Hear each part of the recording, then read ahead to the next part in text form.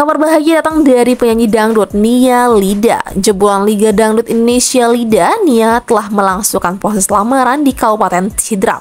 Nia dilamar kekasihnya bernama Ahmad Andi Agung Prakoso. Proses lamaran Nia Lida pun viral di media sosial, banyak mengunggah foto lamaran Nia Lida seperti di CACAO Group 01. Dalam captionnya dituliskan makin menyala anak Bugis uang panek 1,5 M setelah Putri Isnari sekarang giliran Nia Lida.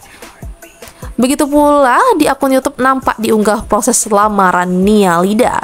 Seorang membacakan uang panek Nia Lida sebesar 1,5 M, sementara mahar berupa 77 juta 777 ribu dan cincin emas seberat 77 gram.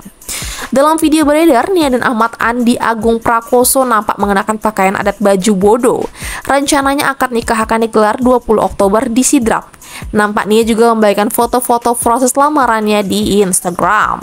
Nama asli Nia Lida yaitu Nia Rose, merupakan pedangdut asal Kabupaten Sidrap, Sulsel. Ia lahir 3 Mei 2002, saat ini Nia sudah berumur 22 tahun. Nia merupakan finalis ajang pencarian bakat tahun 2020. Nia Rose sukses masuk posisi 6 besar, namun karirnya tak secemerlang Selfie Yama yang berhasil juara Lida.